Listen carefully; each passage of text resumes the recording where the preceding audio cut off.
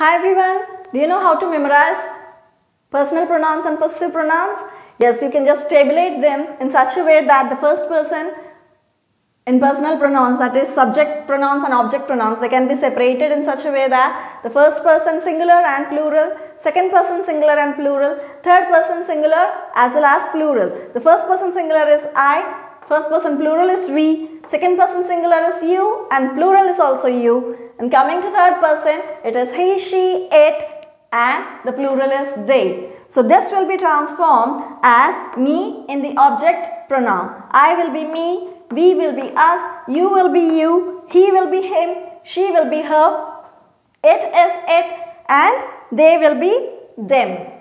Now coming to possessive pronouns which indicate the ownership, they own something. So it will become mine, ours, yours, his, hers and there won't be its because animals and things don't own. So and theirs, right?